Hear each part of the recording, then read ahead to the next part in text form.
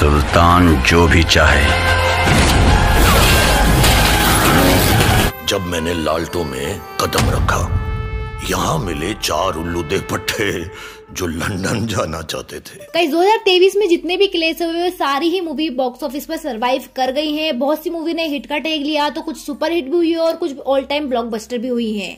But अब जो है, सलार और डंकी का क्लेस हुआ है और दोनों ही मूवी एक दूसरे को बिज़नेस के मामले में बहुत ज़्यादा इफ़ेक्ट कर रही है।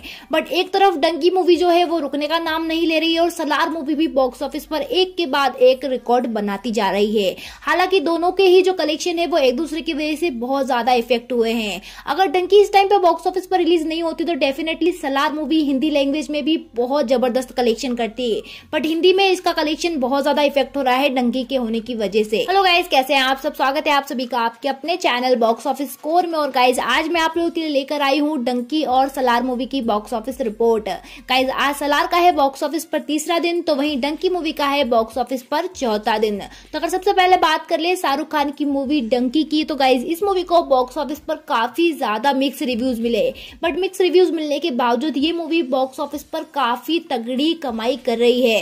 वैसे तो ये जवान और पठान के सामने कुछ भी नहीं है बट फिर भी इस मूवी का कलेक्शन जो है काफ़ी ज़्यादा डिसेंट आ रहा है इसके बजट के हिसाब से।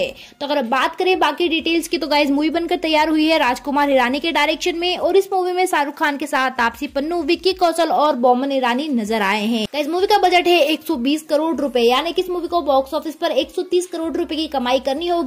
जो कि ये मूवी बहुत जल्द करने वाली है। गाइज़ इस मूवी को वर्ल्ड वाइड सात हज़ार पाँच सौ स्क्रीन पर रिलीज़ किया गया है। बाहर ज़्यादा स्क्रीन मिलने की वजह से ओवरसीज मार्केट में भी ये मूवी धूम मचा रही है। तो अगर आप बात करें इस मूवी के बॉक्स ऑफ़िस कलेक्शन की तो इस मूवी ने अपने पहले दिन ओपनिंग ली थी उनतीस करोड़ बीस लाख रुपए की। तो वहीं दूसरे दिन कमाए बाईस करोड़ पचास लाख रुपए और तीसरे दिन कमाई की है अट्ठाईस करोड़ पचास लाख रुपए की।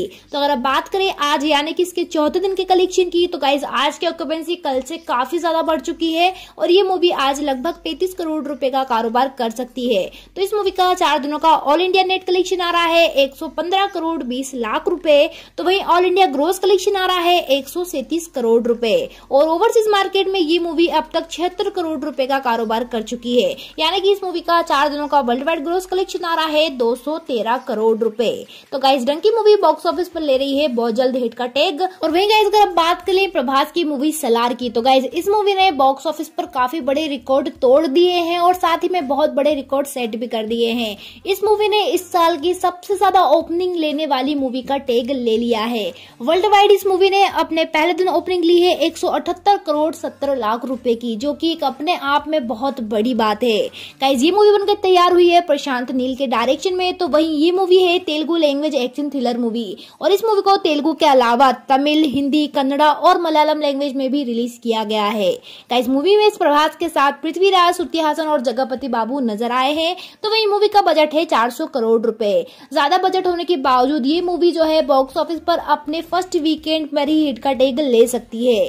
गाइज़ इस मूवी को वर्ल्ड वाइड छह स्क्रीन पर किया गया है रिलीज़ अगर आप बात करें इस मूवी के बॉक्स ऑफ़िस कलेक्शन की तो इस मूवी ने अपने पहले दिन हिंदी लैंग्वेज में कमाया है अठारह करोड़ रूपए। तो वही ऑल इंडिया नेट कलेक्शन क्या है एक सौ सात करोड़ रूपए का। तो वही दूसरे दिन हिंदी लैंग्वेज में कमाया है तेईस करोड़ रुपए। तो वही ऑल इंडिया नेट कलेक्शन क्या है? इकहत्तर करोड़ रुपए का। अगर अब बात करें आज, यानी कि इसके तीसरे दिन के कलेक्शन की तो गाइज़ आज की ऑक्यूपेंसी हिंदी लैंग्वेज में कल से ज़्यादा है और ये मूवी आज लगभग 26 करोड़ रुपए का हिंदी नेट कलेक्शन कर सकती है। तो इस मूवी का तीसरे दिन का ऑल इंडिया नेट कलेक्शन आ रहा है 80 करोड़ रूपए। और गाइज़ ये मूवी तीन दिनों में ऑल इंडिया नेट कलेक्शन कर रही है दो सौ अट्ठावन करोड़ रूपए का। तो वही इंडियन ग्रोस कलेक्शन कर रही है तीन सौ सात करोड़ रूपए का। और ओवरसीज मार्केट में ये मूवी तीन दिनों में एक सौ दो करोड़ रुपए कमा रही है। तो इस मूवी का तीन दिनों का वर्ल्ड वाइड ग्रोस कलेक्शन आ रहा है 409 करोड़ रुपए। इसका इस तीन दिन और वर्ल्ड वाइड 409 करोड़ रुपए, जो कि काफ़ी बड़ी बात है। तो गाइज़ ये थी डंकी और सलार मूवी की बॉक्स ऑफ़िस रिपोर्ट और आप दोनों में से कौन सी मूवी आपने देख ली है, मुझे कमेंट करके ज़रूर बताइएगा। और अगर चैनल पहली बार आए हैं तो चैनल सब्सक्राइब करना बिल्कुल भी ना भूलें, क्योंकि आपको मिलती रहेगी चैनल पे हर मूवी की बॉक्स ऑफ़िस रिपोर्ट अब मिलते हैं अगली वीडियो में, तब तक के लिए बाय बाय